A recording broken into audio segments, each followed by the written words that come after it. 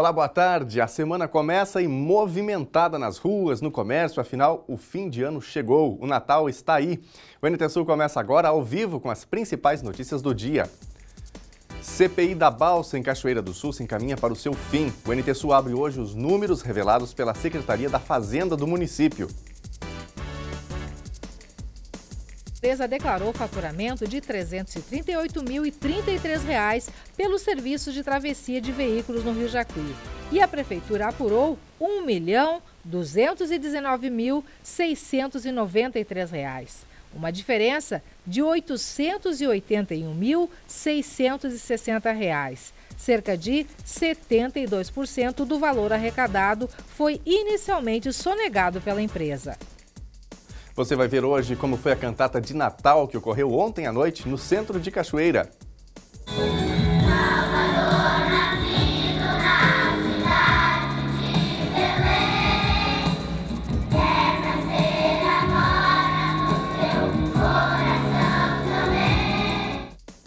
Declaração Universal dos Direitos Humanos completa 70 anos nesta segunda-feira. A gente mostra o que significam os direitos humanos e a importância deles para cada cidadão. E ainda os resultados do atleta cachoeirense Palito Cruz no Sul-Americano de Canoagem, disputado na Argentina no fim de semana. O NT Sul está no ar.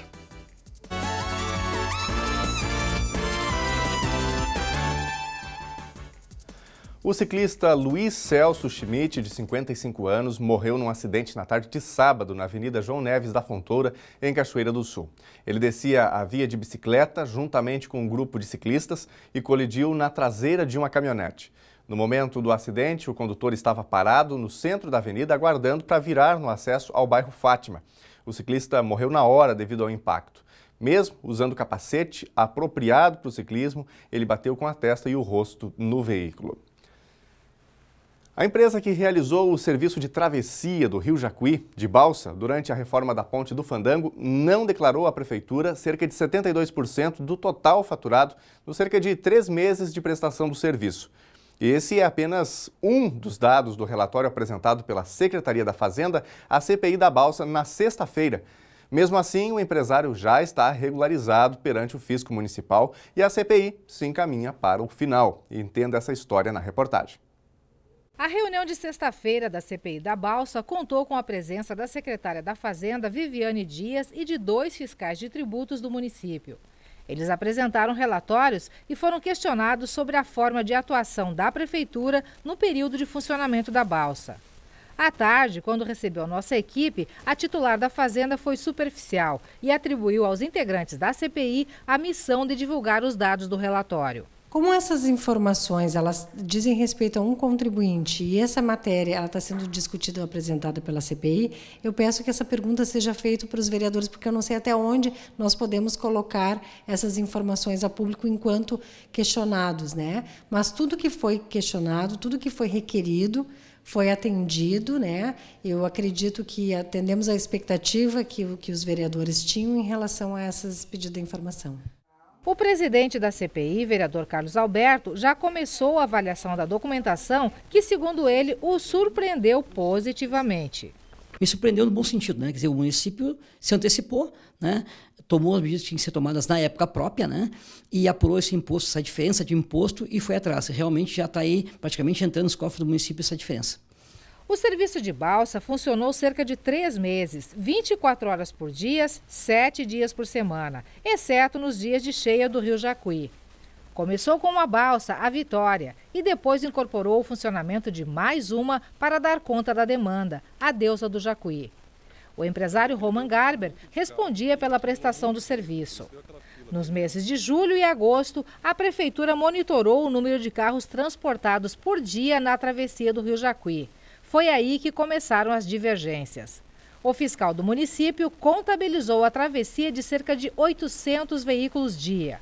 A empresa informou entre 200 e 300 veículos, cerca de 500 a menos.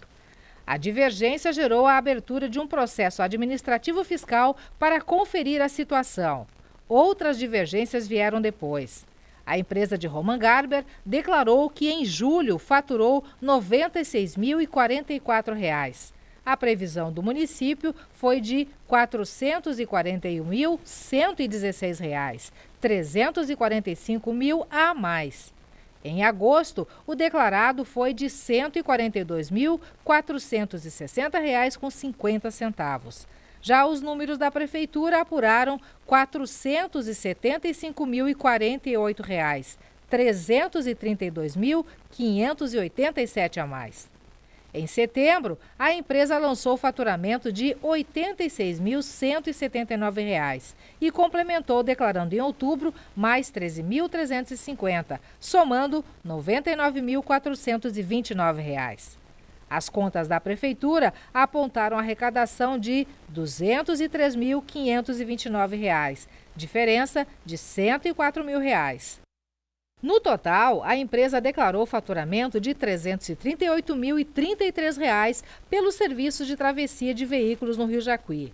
E a prefeitura apurou R$ 1.219.693, uma diferença de R$ 881.660. Cerca de 72% do valor arrecadado foi inicialmente sonegado pela empresa. Isso resultou em R$ 26.677 de imposto sobre serviços não pagos ao município. Segundo dados repassados pelo presidente da CPI, vereador Carlos Alberto, a prefeitura notificou a empresa em setembro. Dia 5 de dezembro, Roman Garber concordou com os cálculos da prefeitura confessou a dívida e parcelou o imposto de R$ 26.677 devidos ao município em 36 parcelas de R$ 728,84. Com isso, a ideia da vereadora Telda Assis, outra integrante da CPI, de convocar o empresário para prestar esclarecimentos, torna-se sem cabimento, segundo o presidente da CPI, porque o empresário já regularizou sua situação.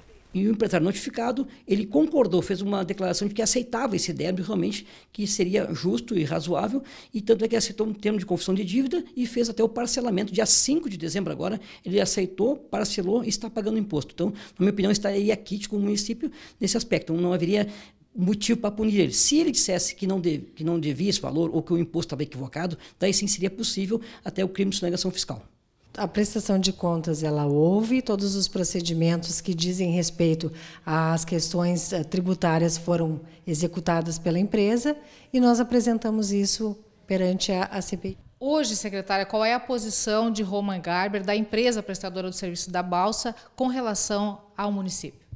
Está tudo certo, está tudo ok em relação ao executivo, tudo que foi pedido foi atendido, não temos nada em relação a eles, tudo de acordo com determinada legislação. E aí, com tudo isso, o presidente da CPI, vereador Carlos Alberto, do PP, prevê que já nesta semana a comissão se encaminhe para a extinção logo que seja encaminhado o relatório final.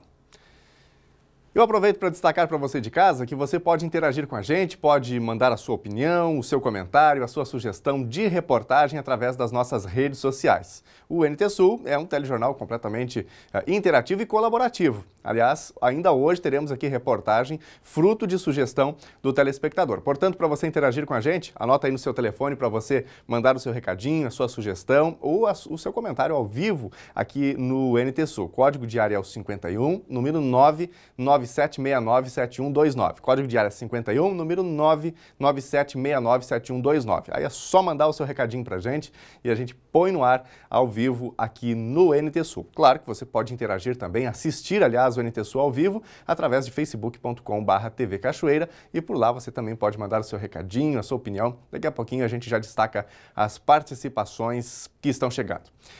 Durante muito tempo, as pessoas com deficiência foram excluídas da sociedade e sofreram preconceito porque eram consideradas incapazes de desempenhar certos tipos de tarefas. Mas as deficiências não devem privar ninguém de ter uma vida próspera e com bem-estar acima de tudo. O gaúcho Cláudio, Cláudio Luciano eh, do ZIC, de 42 anos, é mestre e doutor em neuropsicopedagogia. Ele tem apenas o movimento das mãos devido a uma atrofia muscular espinhal. A deficiência não impediu de sonhar alto e conquistar os seus objetivos. Quebrar a barreira do preconceito nem sempre é fácil principalmente quando se vivencia o problema. Cláudio Luciano Duzic tem atrofia muscular espinhal, uma doença degenerativa que afeta seus músculos, deformando o corpo e limitando seus movimentos. Segundo médicos, ele teria apenas sete anos de vida. A mãe Elisa conta como foi saber que seu filho era deficiente. Acredito que para toda mãe que, que ganha o seu filho, ela espera, tem muitas expectativas, né? Mas claro que o Cláudio ele era uma criança assim, ele foi a mais, a mais bonita do hospital, sabe, do berçário. Bem gordinho, tão lindinho, sorridente. E quando me falaram assim, quando ele já estava perto de um ano, que ele não iria andar, que tinha uma síndrome, claro que eu sofri muito. Sofri assim, ó, como se fosse um luto. Então, toda noite não se sabia se ele iria amanhecer ou não porque expectativas, como os médicos me falavam, era de um ano e meio a sete anos, dificilmente chegaria aos 14. Então eu sempre tive aquele medo, mas jamais assim deixei de amá-lo, né? E assim como eu já tinha outro filho um pouquinho maior, eu levava sempre na pracinha e, e via coisas, aniversários, nunca assim, ó, eu tratei ele como um coitadinho. Elisa afirma que iniciar o período escolar foi muito complicado e exigiu esforço da família toda. Primeiro, porque a minha família achava que eu estava doente que não era o motivo de eu deixá-lo estudar, que eu não estava aceitando. Até mesmo o neurologista que eu atendia achavam assim que eu não estava aceitando a síndrome, né? Mas como eu queria que ele tivesse os melhores momentos da vida dele, e eu sabia que para ele ter esses momentos, ele teria que ser, seguir os mesmos passos como o irmãozinho. O irmãozinho é para a escolinha, por que, que ele não poderia ir para a escolinha? Né? Então eu chorei muito que várias escolas, que hoje ele foi coordenador de todas, não o aceitaram. Nem a própria pai não aceitou, porque ele não tinha déficit de intelectualidade. Ele era uma criança inteligente. Com cinco anos e meio, ele já conhecia as letrinhas, várias palavras com monossílabas. Ele era uma criança super inteligente. Então, aonde, com tantas rejeições, eu procurei uma escola assim, e, e para minha decepção, o diretor não queria aceitá-lo. Cláudio confirma as palavras da mãe. É, a aceitação numa escola de início não foi fácil, porque não havia leis que amparassem o meu direito de matrícula. Né? Todas as escolas públicas e privadas do município rejeitaram a minha matrícula. Daí foi onde minha mãe conseguiu, uh, via uma escola confessional, no princípio, né, que ela até argumentou com o diretor, mas diretor, para Deus nós somos todos iguais. Daí foi onde ele disse assim, ah, então por que, que meu filho não pode estudar? Daí, então esse diretor ele me deu um período de experiência, né, para ver se eu seria capaz de aprender ou não. Então no meu primeiro ano, a preocupação da escola, digamos assim, era verificar minha capacidade de aprendizado. Mas com o tempo, com o desenvolvimento, tanto por, por provocação da minha mãe, no sentido de incentivar, a escola viu que também era necessária a minha socialização. Porque para minha mãe ela dizia assim, o que, que adiantava eu conhecer todas as letras e números e não conhecer amigos? O que, que adiantava eu formar palavras e frases e não formar amizades? Karen Rosane Oliveira foi colega de turma de Cláudio quando, na década de 80, estudavam no Colégio La Salle, em Esteio, no Rio Grande do Sul. Ela conta como era o convívio com o amigo. Primeiro contato foi de curiosidade, né, de ver um colega uh, numa cadeira de roda, né. Foi curiosidade. Daí depois despertou aquela coisa que eu posso ajudar ele também. No intervalo, né, eu me recordo bem, é do pular corda, né? Que dois trilhavam e passávamos por baixo da corda com ele, para ele também poder uh, trilhar, né? Então, para poder brincar, incluir ele nas brincadeiras. Essa é a que me recordo. Pegávamos a cadeira de roda dele, passeávamos uh, correndo, né? Meio que correndo na dentro no pátio da escola, né? Para poder também ter ele junto com nós sempre. Ela garante que Cláudio sempre foi dedicado aos estudos e fala do sentimento que tem quando vê onde o colega chegou. É orgulho, muito orgulho. Muito orgulho dele ter chegado até onde ele chegou e ele vai além. Ele não para por aqui, eu tenho certeza que a vontade dele vai além. Se andarmos pelas ruas e perguntarmos às pessoas de que forma elas enxergam alguém com deficiência, talvez a resposta venha carregada de sentimentos negativos, como pena, doença e fragilidade, quando não de preconceito e incapacidade. Esse tipo de atitude demonstra, em sua maioria, que uma parte das pessoas vê o deficiente como alguém incapaz diante de suas limitações. Mas esta não é a história de Cláudio. A vida mostrou para ele que ele pode sonhar, lutar e conquistar. Após terminar o segundo grau, Cláudio ingressa na Universidade Federal do Rio Grande do Sul e inicia o curso de psicologia. Na sequência, fez mestrado e doutorado em neuropsicopedagogia. Ele acredita grande parte das conquistas ao esforço da mãe Elisa, que nunca mediu esforços para que o filho voasse alto na vida. Ah, com certeza. Eu acho que uma das, das pessoas mais primordiais disso tudo foi minha mãe.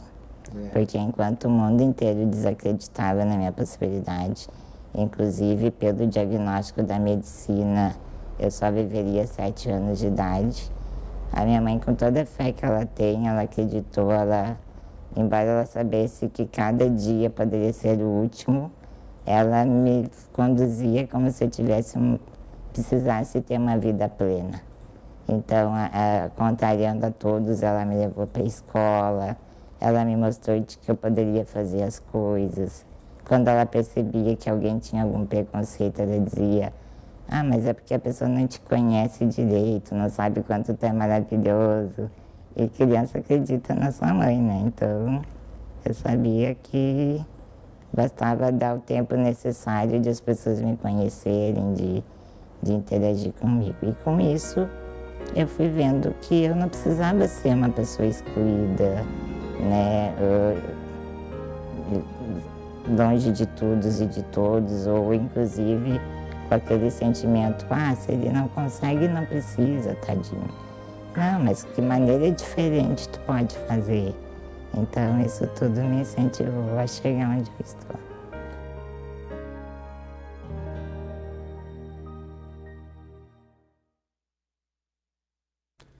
Não devemos, em hipótese nenhuma, subestimar as pessoas, né? Aí está mais uma incrível história de superação. E na reportagem de amanhã, você vai ver como o Cláudio desenvolveu uma interface que permite escrever sem o uso das mãos e um equipamento que dá comando ao computador a partir das ondas cerebrais. É amanhã aqui no NT Sul, você não pode perder. E ainda sobre tecnologia, a gente fala agora sobre cercamento eletrônico da cidade de Porto Alegre. Este é um sistema pioneiro na capital gaúcha, integrado com a Brigada Militar, ou seja, é possível encontrar carros roubados a qualquer momento através das câmeras. Porto Alegre completa 100 dias de cercamento eletrônico em 70 pontos da capital gaúcha, incluindo pardais e as demais câmeras de vídeo monitoramento da IPTC. E os resultados já são positivos. São monitorados 700 mil veículos o dia mais ou menos uns 14 milhões de veículos mês passam pelo de, de, de monitoramento mês passam pelo sistema e, e, e, os controladores que anteriormente tinham uma única função de controlar excesso de velocidade nas vias, hoje passaram a ser equipamentos multiusos, ou seja, além de controlar a velocidade, eles identificam uh, possíveis veículos furtados ou roubados com alguma restrição administrativa ou busca apreensão e, uh, mediante essa identificação, informam a Secretaria de, de Segurança o sistema tem se mostrado uma ferramenta importante no combate ao crime. 100% dos, dos veículos que passam pelo sistema e são detectados com algum tipo de alarme de furto e roubo estão sendo triados 100% e mediante a validação daquele alarme que é uh, feita humana, né, pela, por um agente público, ela é diretamente despachada para para a Brigada Militar, Polícia Civil e Guarda Municipal. A capital gaúcha é pioneira neste tipo de sistema de monitoramento eletrônico a promover ações de segurança através do uso da tecnologia. De acordo com o gerente de projeto, já está previsto numa segunda etapa ampliar os pontos de monitoramento na cidade. Para o ano que vem, a gente tem um projeto para monitorar uh, todas as entradas e saídas da, da cidade de Porto Alegre, ou seja, nenhum veículo vai poder acessar ou sair da cidade sem passar pelo nosso monitoramento. Esse é o desejo e o objetivo para o ano que vem. Meio-dia 22 agora, hora de Brasília. Algumas participações rápidas aqui, ah, que você também pode mandar a sua, viu? Se você não, ainda não escreveu para gente, não fez o seu comentário, você pode fazer isso através do nosso WhatsApp, código diário é o 51, número 9 9769 7129. Repetindo para você, código diário é 51, número 9 9769 7129. E também facebook.com barra TV Cachoeira. A Jurema Barcelos dá uma passadinha por aqui, o Juarez Leite, Vitor Oliveira San Martin, sempre ligado, diz ele aqui, na escuta. Muito obrigado, viu? Grande abraço para você. Também a Suzy Sacrato elogiando a história do Cláudio, que a gente acabou de veicular, né? Aliás, tem mais uma parte amanhã e você certamente não pode perder. A Tereza, Carlos também diz aqui, é, falando sobre a questão do preconceito, de que nós não podemos ter preconceitos, né? Por falar em preconceitos, a Declaração Universal dos Direitos Humanos completa 70 anos nesta segunda-feira. Mas muita desinformação ainda circula sobre o tema nas redes sociais, especialmente no WhatsApp. A partir de agora, a gente vai fundo nesse tema e mostra como surgiram esses direitos e a importância deles hoje. A Segunda Guerra Mundial é considerado o conflito armado de maior escala na história da humanidade. Foi nesse contexto que o pior da humanidade foi revelado violações de direitos individuais e coletivos eram constantes. Você vai conhecer a história de um professor que, obrigado pelas circunstâncias, teve que se tornar um combatente na Segunda Guerra Mundial. Atenção, atenção, ouvintes do Repórter Neto. O governo brasileiro acaba de declarar guerra às Nações Unidas.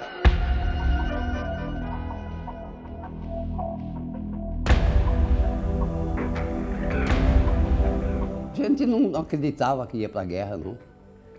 Nós ficamos dois anos e meio uh, fazendo exercícios em Caçapava e em Taubaté e ninguém pensava que, que a gente ia. Nem, nem quando o navio saiu daqui, a gente não sabia que ia para a guerra. Parecia quase impossível que o Brasil conseguisse ir à guerra. Um dos motivos estava na quantidade insuficiente de oficiais da ativa. A solução foi convocar reservistas, mas a maioria dessas pessoas eram oficiais liberais, como médicos, advogados e professores. E esse foi exatamente o caso do Milady, de apenas 22 anos, que de uma hora para outra teve que deixar a sala de aula para ser um combatente de guerra. Os maiores problemas foram o fato de que nós não fomos preparados para a guerra. O tempo que nós ficamos no Exército, não se fazia nada que dissesse respeito ao que ia acontecer na linha de frente. Uh, o nosso armamento era ainda aquele armamento da, da Primeira Guerra, de 1914 a 1918. A Força Expedicionária Brasileira, a FEB, era composta por cerca de 25 mil homens. Acontece que muita gente duvidou que o Brasil de fato fosse à guerra. Eles diziam que seria mais fácil uma cobra fumar do que a FEB embarcar.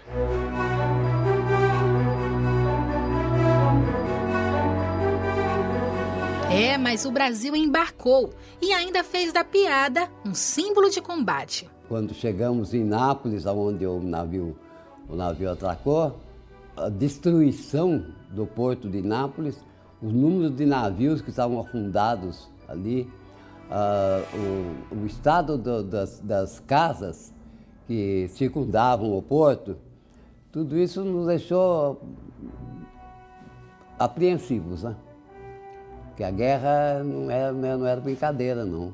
A Segunda Guerra Mundial durou de 1939 a 1945 e foi considerada o conflito armado de maior escala da história da humanidade. O combate envolveu as maiores potências da época.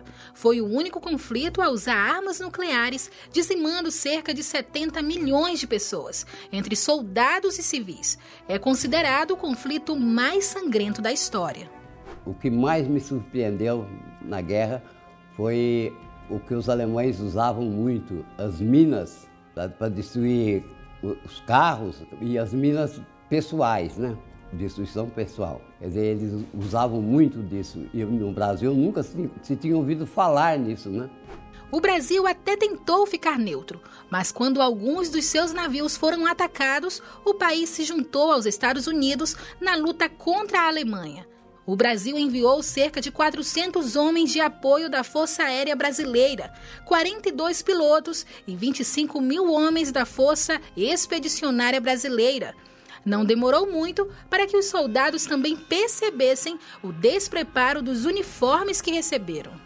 Os nossos uniformes não eram preparados para a temperatura da Europa, frio de 20 graus abaixo de zero. E aqui nós nunca tínhamos visto nem, nem nem de zero. Distante, Milady escrevia cartas cheias de saudade para a mulher que se tornaria sua esposa. E foram as cartas apaixonadas que documentaram momentos importantes, que mais tarde serviram de base para a confecção deste livro publicado pela PUC. Amigo ouvinte, aqui fala o repórter Esso, testemunho ocular da história. A Rádio de Hamburgo, depois de transmitir o crepúsculo dos deuses durante muitas horas, acaba de anunciar o Führer morreu. Terminou a guerra, terminou a guerra, terminou a guerra. Ficou na minha mente só uma coisa: que a guerra não serve nada para ninguém. Ninguém ganha uma guerra.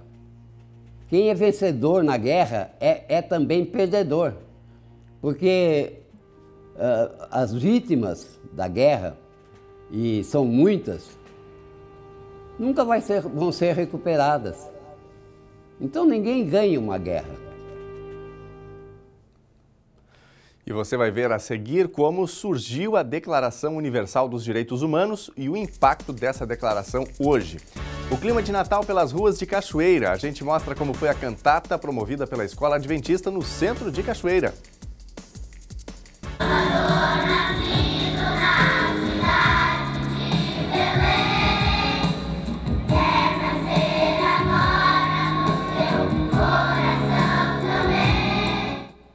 Ainda, e ainda, os resultados do atleta cachoeirense Palito Cruz no Sul-Americano de Canoagem. O NT Sul volta já.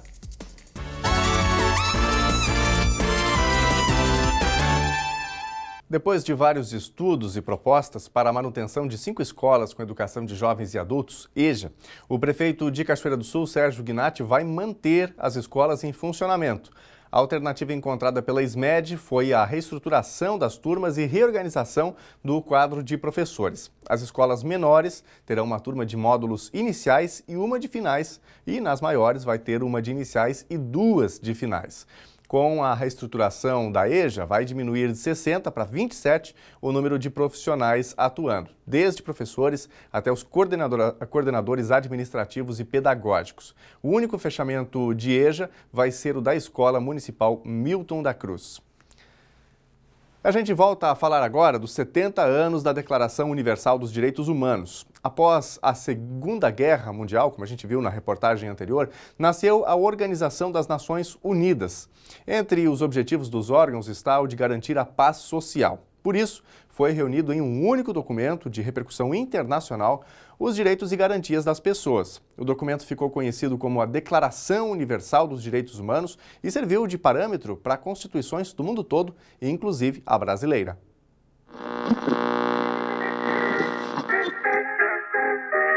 Ouvinte, aqui fala o repórter Esso, testemunho ocular da história.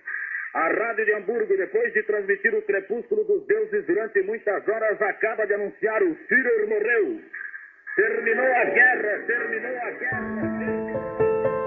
A Segunda Guerra Mundial pode até ter chegado ao fim, mas seus efeitos são sentidos até hoje. Muitas vidas foram perdidas na guerra. Além disso, ela foi palco de diversas violações de direitos individuais e coletivos. E foi neste contexto que nasceu a Organização das Nações Unidas, com o objetivo de trazer a paz a todas as nações do mundo. E para garantir que os direitos e garantias ficassem muito claros, nasceu a Declaração Universal dos Direitos Humanos, que garante liberdade, justiça social e paz mundial. Hoje, o documento conta com a assinatura de mais de 122 países que se comprometeram a cumpri-la. E apesar de não ter força de lei, ela serve como uma base para as constituições e tratados internacionais. A declaração ela tem 30 artigos específicos e ela se preocupa efetivamente com a cidadania. Por isso que a nossa Constituição, que é de 88, né, e é considerada nova, ela é tida como uma Constituição cidadã. Por quê? Se voltou muito à Declaração dos Direitos Humanos. A Declaração Universal dos Direitos Humanos é o documento mais traduzido do mundo e está disponível em mais de 500 idiomas. Este ano, ela completa 70 anos. Mesmo assim, para muitas pessoas, este ofício não passa de um simples papel. Temos muitos desafios. Em termos de paz e segurança, que são um dos motivos pelos quais a ONU foi criada, temos hoje mais conflitos e guerras do que em qualquer momento depois do fim da Segunda Guerra Mundial. Temos conflitos no Oriente Médio, no Afeganistão, em muitos países da África. Temos situações de graves violações em Mianmar, entre outros, e também em muitos países latino-americanos. Um dos grandes desafios da ONU consiste em tirar todos esses planos do papel, em casos como o da Síria, que após anos em grave guerra civil ainda enfrenta uma crise de refugiados. Ou ainda no caso dos venezuelanos, que fogem do desemprego e da fome. Ele foge, o ser humano foge com sua família, né? o homem, a mulher foge com seus filhos, para justamente procurar o quê? A sobrevivência procurar o direito da vida. O direito à vida é inerente do ser humano, ele nasceu com vida, então ele tem o direito, ele tem o direito de respirar um ar puro, ele tem o direito de ter saúde, ele tem o direito de ter moradia, de ter alimentos, de ter, sobretudo, um governo justo. O Brasil está fazendo prova de uma grande capacidade. Estão sendo cumpridos os instrumentos legais e mais o Brasil está demonstrando muita, muita solidariedade no trato com os venezuelanos. Isso é excelente e nós, como órgão, apoiamos a resposta das autoridades brasileiras, federais e estaduais para acolher da melhor forma possível os venezuelanos que chegam aqui. Mas o desafio não acontece apenas longe das fronteiras brasileiras. No Brasil, direitos básicos como educação, moradia, emprego, assistência médica e até comida ainda não são uma realidade na vida de todos os brasileiros. Além das questões sociais, a Organização das Nações Unidas também se preocupa em desenvolver a cooperação entre os países em prol do meio ambiente. Um outro desafio enorme é o meio ambiente. Já sabemos que se as coisas continuarem assim, não poderemos ter a confiança de que dentro de 50 ou 100 anos o nosso planeta ainda vai ser habitado pela raça humana. Estamos vendo os níveis dos mares crescendo tanto que dentro de 30 anos poderia já não existir mais um país como as Ilhas Maldivas. Poderia facilmente não existir dentro de um tempo a praia de Copacabana e a praia de Ipanema o mundo ele está caminhando pelo respeito aos direitos humanos, em todos os sentidos. E hoje a preocupação mundial é o quê? É com o próprio planeta em que vivemos, que é o nosso planeta água, não é verdade? Hoje, com essa poluição, então estão se criando normas, né, as grandes potências no mundo, inclusive, para evitar o quê? A poluição, porque estamos acabando com o próprio planeta. Nós estamos destruindo a nossa casa. A Segunda Guerra Mundial acabou, mas muitas pessoas ainda vivem em uma constante batalha. É gente que luta pela vida, liberdade, igualdade, moradia. pelo direito de ter uma pátria, de poder viver em paz e ter o mínimo de dignidade para sobreviver. E enquanto a Declaração Universal dos Direitos Humanos não for uma realidade para elas, para a humanidade, a guerra não acabou.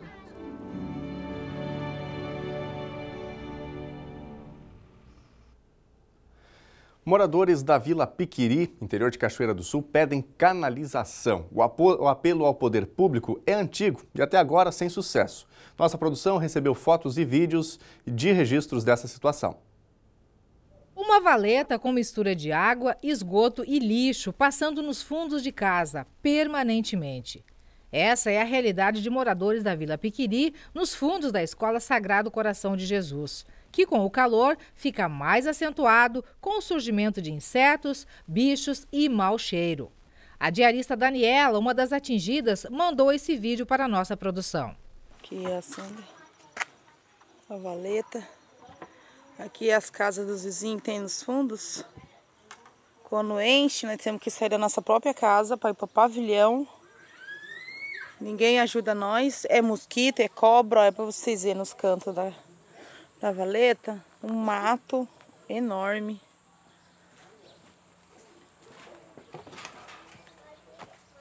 Tem outra casinha ali.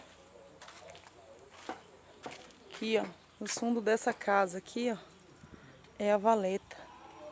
E pega de lá até toda essa daqui, ó.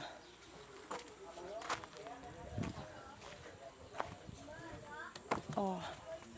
E se vai até lá embaixo. O problema apontado pela Daniela é antigo e fica ainda mais evidente em épocas de chuva forte, quando grande parte da Vila Piqueri sofre com os alagamentos e ruas e casas são invadidas pela água. Por telefone, o secretário do Interior, Paulo Trevisan, admite já ter ciência do problema e se revela impotente para solucioná-lo. É, é o lado triste daquela vila ali, ó, né, que, que é uma vila que paga IPTU, que teria né, que que, que ter todas as condições, mas não tem nada, realmente não tem nada, né? Agora, é, tem que ser feito um trabalho geral ali, né? Geral. Para fazer escoamento de água da vila do Posto Shell, ali Piquiri, ó, tem que ter onde a água sair. Não adianta nós querer afundar a valeta dentro da vila ou botar cano dentro da vila que a água não tem saída. E a saída é o quê? Entrar com ação judicial contra o proprietário, que eu já tive conversando com ele, né? E que esse, esse proprietário se, se conscientiza que nós temos que fazer uma vala que vai até o rio Piquiri, lá que escoamento da água. O Ministério da Saúde publicou nesta segunda, no Diário Oficial da União, edital para a seleção de brasileiros e estrangeiros para cobrir as vagas restantes do programa Mais Médicos. Se enquadram profissionais com CRM no Brasil e aqueles que possuem diploma de instituição estrangeira, mesmo sem revalidação. Balanço do Ministério da Saúde aponta que das 8.517 vagas a serem preenchidas, em torno de 100 ainda estão disponíveis. Em Cachoeira do Sul, das cinco vagas disponíveis, três estão sem médicos. Um desistiu e os outros dois, do Rio de Janeiro e Minas Gerais, têm até sexta-feira para se apresentar. A chefe de atenção à saúde do município, Denise Caspani, informou que esse novo edital, que admite a inscrição de médicos estrangeiros, abre possibilidade de permanência no município de uma médica cubana que já atuava aqui e que deseja permanecer no Brasil. Meio-dia e 42, hora de Brasília, mais algumas participações que vão chegando através das nossas redes sociais aqui no NT Sul. Lembrando, mais uma vez para você, o código diário é o 51, número 997697129, para você participar com a gente através do WhatsApp. A Guacira Fraga mandando aqui uma mensagem elogiando a reportagem que a gente veiculou agora há pouquinho, falando sobre o rapaz, o Cláudio, né, que havia sido desenganado pelos médicos, eh, não somente sobreviveu, como se formou, é um cientista gaúcho, desenvolveu é, alguns é, softwares né, que estão aí auxiliando centenas de, de, milhares de pessoas. A gente, inclusive, tem mais uma reportagem sobre esse assunto amanhã aqui no NT Sul. Obrigado, viu, Guacira? Tudo de bom para você. Também aqui a participação da Cristiane Antunes. Obrigado, Cristiane. Tudo de bom para você. Ela manda um abraço para o seu esposo, Fábio Teixeira, as filhas, a Evelyn e também a Kailane. Muito obrigado aí pelo carinho de vocês. A Lana Correia está na, na região lá da barragem do Capané. Muito obrigado aos amigos do interior de Cachoeira do Sul pelo carinho e pela audiência aqui no NT Sul. Ontem à noite, a Praça José Bonifácio foi invadida por centenas de pessoas que prestigiaram a décima edição da cantata de Natal da Escola Adventista de Cachoeira do Sul. Uma festa de encantamento e emoção. Os alunos da escola foram destaque do evento. Bem antes de começar a décima cantata de Natal da Escola Adventista, a ansiedade dos pequenos já dominava a praça. E com razão, afinal de contas, eles ensaiaram muito e a hora de mostrar o resultado se aproximava. O colega e repórter João Paulo Ferreira, que também participou, circulou por lá e, junto ao cinegrafista Edson Michels, registrou. Conta pra mim como é que foi ensaiar a cantata. Foi bom. É? Você gostou? Aham. Uhum. E você, como é que foi? Você gostou de ensaiar? Mais ou menos. É? Por que mais ou menos? Porque sim. É? Você gosta de cantar? Mais ou menos também. Vocês dois aí, como é que foi? Gostam de cantar? Sim. É? E você? Também. É? Ensaiaram bastante para cantata? Eu também. É? Ensaiou bastante para cantata? Sim. Como é que vai ser? Vai ser bonito ou vai ser feio? Bonito. Trabalhar com as crianças, o desenvolvimento deles em questão da música é muito bom. E eles estão fazendo bonito, vai ter, estão bem preparados para isso, estão ansiosos para essa apresentação. Fechar o ano com chave de ouro. Se Deus quiser, vai ser com chave de ouro. E Ele quer, com certeza. E eles estão preparados para isso. Mãe de aluno? Mãe de aluno. Como é que é ver o teu filho participar de um evento bonito como esse? É sempre uma emoção muito grande. É. Sempre o coração quase vai saindo pela boca. De tão emocionada e orgulhosa de ver esses pequenos fazendo algo tão grandioso assim, que é apresentar para tanta gente e demonstrando o real sentido né, do Natal. A Escola Adventista aqui em Cachoeira do Sul tem como um evento tradicional, décima edição da cantata. Termina-se o ano com chave de ouro? Sempre. Sempre é maravilhoso, emocionante. Representa né, o, o, o Natal e não é só presente, mostra as crianças voltadas para essa pra parte espiritual. Isso é, é, o mais importante. Como é que foi cantar? Você, você, você gosta de cantar? Como é que é? É muito bom, né? É? Ensaiou bastante para cantar a cantata? Sim. É? No Pré-4 a gente ensaiou a Minha Vida é uma Viagem. É? Primeira música. Foi a melhor música que eu já cantei. Então eu já, eu já ensaiei preparado. É? Tá pronto para cantar? Tô. Como é que é terminar o ano de uma forma tão bonita? É uma felicidade assim que não tem explicação. É muito lindo porque as crianças se envolveram nos ensaios, a gente assim eles dão assim todo o entusiasmo deles para apresentar para os familiares essa emoção deles assim não tem explicação e eles ficam assim naquela expectativa para vir até o dia da cantata para apresentar aos seus pais e seus aos familiares. O público foi chegando e aos poucos a Praça José Bonifácio foi tomada por familiares, amigos e pessoas da comunidade atraídas pela movimentação. E como todos previam, a cantata encantou, emocionou e envolveu cada um na essência verdadeira do Natal, que é a lembrança e saudação ao nascimento de Jesus Cristo. O repórter João Paulo foi o primeiro a se apresentar, interpretando duas músicas, sendo uma de significado especial para quem ouviu e principalmente para ele, que cantou a composição de seu saudoso pai, o seu Lázaro.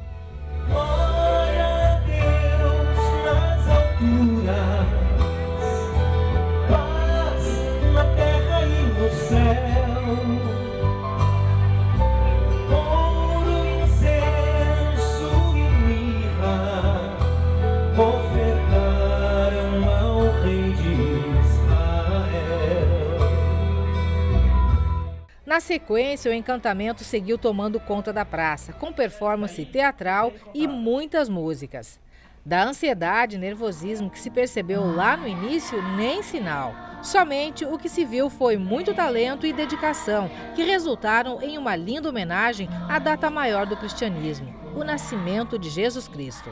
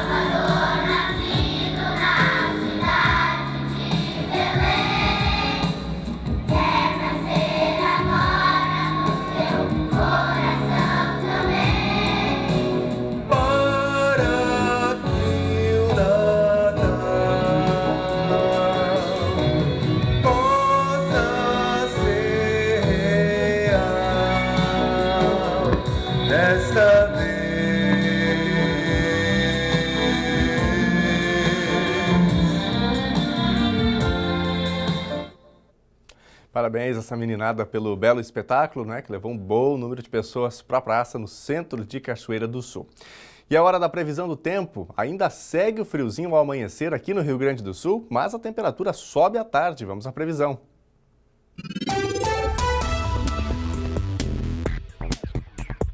Segunda-feira de sol em Cachoeira do Sul, algumas nuvens, mas sem previsão de chuva. Mínima 17 graus, máxima 33.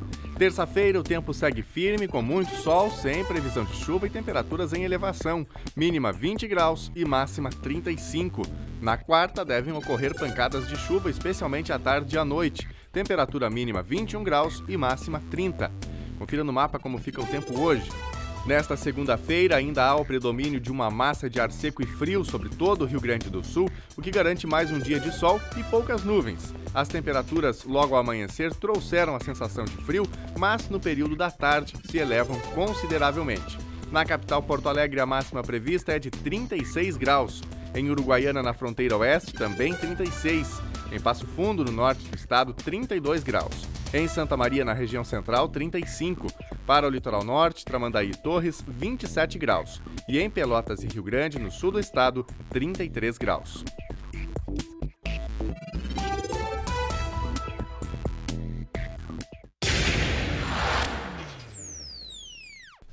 É de Cachoeira do Sul o grupo de dança vencedor do desafio lançado pelo CEPERS, Sindicato dos Professores do Rio Grande do Sul, aos participantes do terceiro encontro estadual de aposentados da categoria, realizado dia 6 de dezembro em Bento Gonçalves. O grupo Luz do Sol, do quarto núcleo de Cachoeira do Sul, concorreu com mais 17 e usou como referência as raízes africanas com três coreografias da professora Mariana Nunes, aliadas à declamação, decoração e figurino. O encontro de professores sindicalizados aposentados acontece anualmente como forma de valorizar e integrar os profissionais que, mesmo inativos, são parte da história do sindicato e são em maior número no quadro de associados. E neste final de semana teve cachoeirense no pódio do Campeonato Sul-Americano Master de Canoagem de Velocidade. Palito Cruz foi à Argentina e trouxe quatro medalhas. Para o veterano desportista cachoeirense, chegar à Argentina para participar do Campeonato Sul-Americano Master de Canoagem e Velocidade foi a realização de um sonho e com várias comemorações e subidas ao pódio. Na prova individual K1, 500 metros, ele foi bronze, terceiro colocado. Palito e outros três canoístas, Lucas Scartesini, Lúcio Santos e José Ramos, conseguiram o bronze na K4. E na parceria com o atleta Scartesini, de Brasília, Palito conquistou duas medalhas de prata, na K200 e 500 metros. Segunda-feira, entre um aeroporto e outro, no retorno à Cachoeira do Sul, ele conversou conosco e comentou sobre o convite que recebeu para treinar em São Paulo e se aperfeiçoar ainda mais. Por lá consegui contato com o nosso treinador, né, o Thiago Pupo, que no verão vai nos proporcionar lá um, um, um, vai ter um centro de treinamento na Praia Grande, São Paulo. E fui convidado então para passar uns dias lá para corrigir uma, um monte de coisas da, da remada e, e das técnicas de distância. Então eu consigo ver melhoras para frente, se Deus quiser. E ainda em ritmo de comemoração, Palito não esqueceu de agradecer. Então eu só tenho a agradecer ao pessoal da minha cidade pessoal, meus amigos, minha família, pessoal que torce por mim. E dizer que, que muito obrigado mesmo por, por vocês acreditarem em mim, por depositarem a confiança e eu poder retribuir isso para vocês, levar o nome da nossa cidade tão longe, né? E do nosso Brasil. Estou muito feliz. Muito obrigado, Cachoeira. Muito obrigado, Rio Jacuí. Muito obrigado, meu Deus. Parabéns ao Palito, né? Foi um grande resultado. Toda a cidade, a comunidade torcia por ele. A gente vinha acompanhando os preparativos. Ainda na sexta-feira destacamos a viagem dele para a Argentina. Parabéns, a gente deseja tudo de bom para ele, que possa seguir dando orgulho para a comunidade, como uma história de superação, não somente uma história no esporte, mas uma história de vida. O NT Sul desta segunda-feira fica por aqui. Outras informações, acessa lá, novotempo.com/ntsul. Uma ótima tarde para você, até amanhã. Tchau.